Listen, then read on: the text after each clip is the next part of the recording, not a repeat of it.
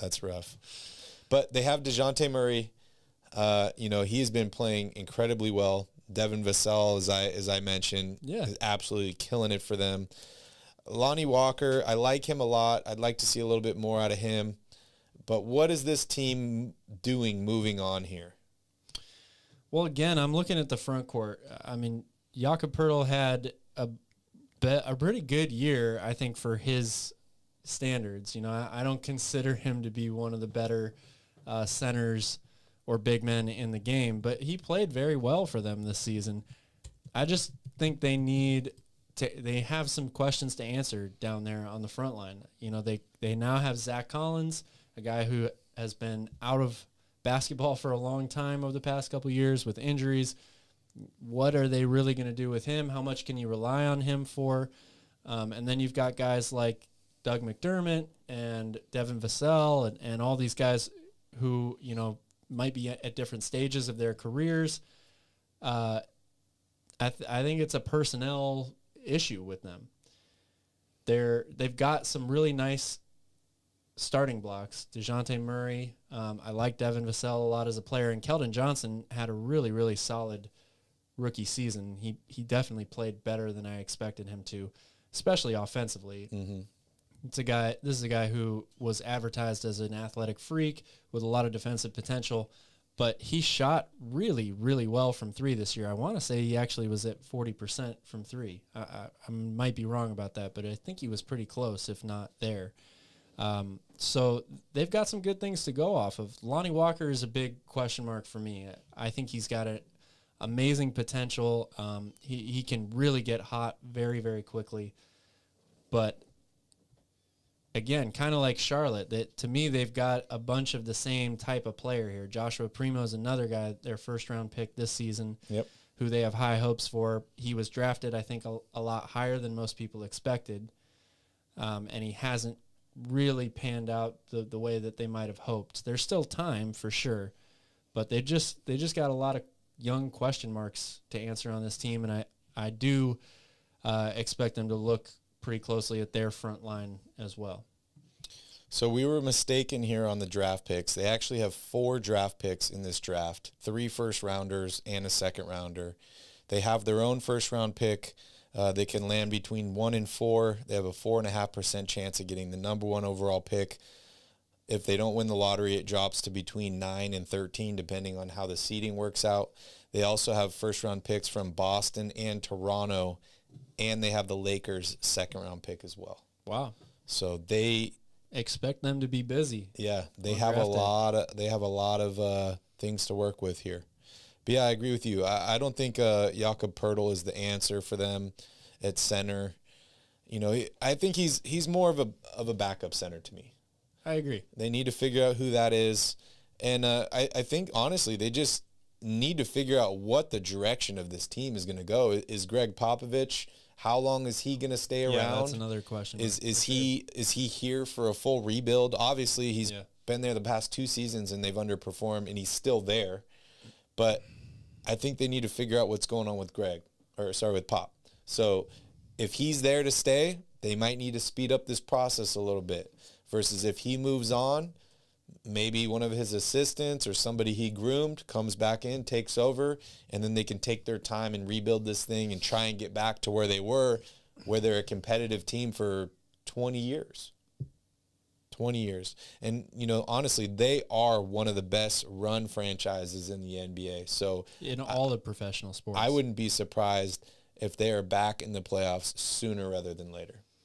Yeah, uh, if Dejounte Murray continues to get better, like he already made an All Star team this year, he's a a really really fine young player. So that's a great start right there. What are your thoughts on Zach Collins? I, I know he's been dealing with a ton of injuries. He was originally drafted by Sacramento, traded to Portland. Uh, I think he was like the number 10th pick overall. He's had more injuries, but he played okay today. 17 minutes, five points, two rebounds. Obviously, not what he did when he was in Portland. But is he a future player on this team? Somebody to build around? And not not for me. Okay. I, I you know I don't um, see what the Spurs see in practice every day, but I, at this point, like you said, he's been hurt a lot, and I, you know, I'm just wondering. I'm not sure how much he, money he makes either, but I feel like it's a decent amount. Let me, let me Uh, take a look here. so I, I just feel like you you can't rely on him for what what you really need out of him. Let me. I'm just running his salary here real quick. I don't think it's much. So he signed a three-year, twenty-two million dollar contract with San Antonio. So he's averaging about seven, seven and a half. Okay, a so yeah, that, it's less than I thought it was, but still, it. I, I just worry about his overall productivity. You know, I I'd be interested to see how many total games he's played in the past two or three years. yeah. It, it's at some point it, it gets hard to rely on somebody. Looking at when this- they're constantly missing games. Looking at this entire roster here of San Antonio, how many starters do you see actually on this team? Oof, that's tough. I mean, you got Josh Rip- Richardson coming off the bench. He played a ton of minutes tonight. 12 points for him. You got Lonnie Walker coming off the bench. You know, then you got guys like Romeo Langford who have bounced around, not really sure what to expect from him.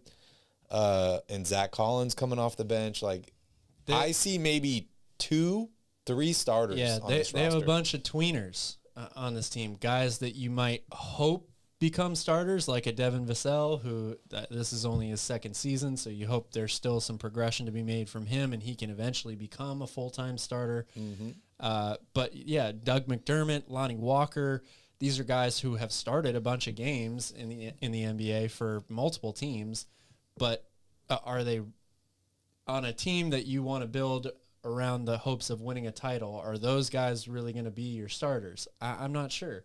Zach Collins is another one who you want, you would expect Yep. to start when he's healthy, uh, when he's playing really well, but he just hasn't worked himself back into that form yet. And even Jakob Poeltl, he starts on this team, but is he really a starter? So yeah, th- to me, they just have a bunch of in between guys. Yeah, I, I think they have a bunch of guys and a bunch of picks now that they can try and trade up, try and acquire one of these Yeah. guys, make a big trade.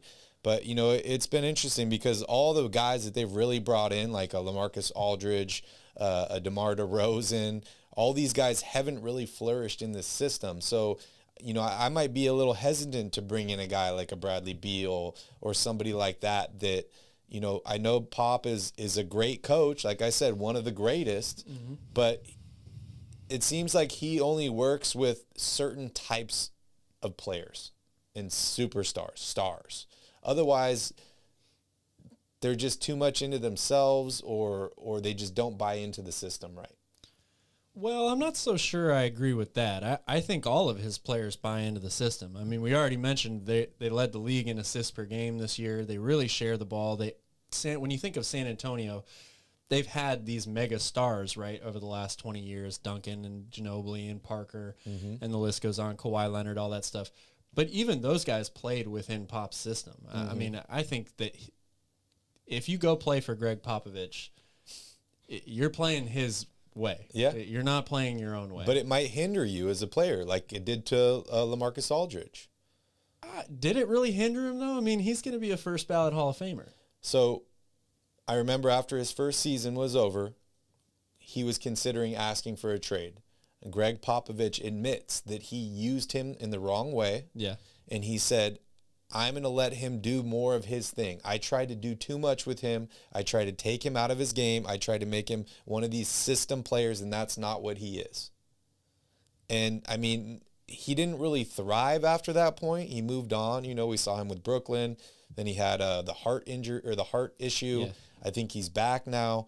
But uh, yeah, it's just it's interesting, right? Because you, you look at such an amazing coach in such an amazing amazing franchise, and then it seems like when guys like DeMar DeRozan leave there, they just have career years. Maybe it's just uh, one guy. I, I think it's probably more of a one-off. I mean, first of all, how many Look at co- Kawhi Leonard. how many coaches would actually say something like that?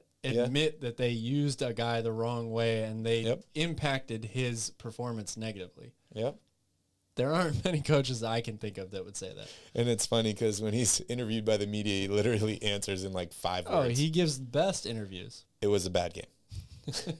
and then we saw Kawhi Leonard also left the Spurs, played great. Not that he didn't play good with the Spurs. Was but a Finals MVP. he had with the probably he had probably his best season of his career with Toronto. Oh yeah, he did. But again, Finals MVP with the Spurs. He he played really well for them too. Yep.